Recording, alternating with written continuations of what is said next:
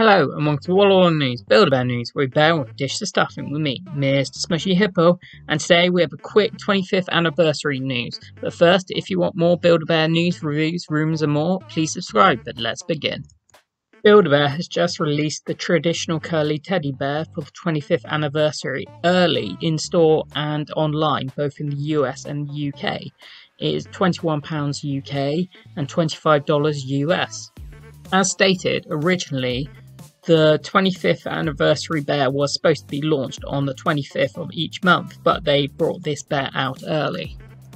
Every month, Build a Bear will be doing something in store to promote the 25th anniversary of Build a Bear, but with the early release of this bear, we're not sure if they will be bringing the promotion forward in store as well.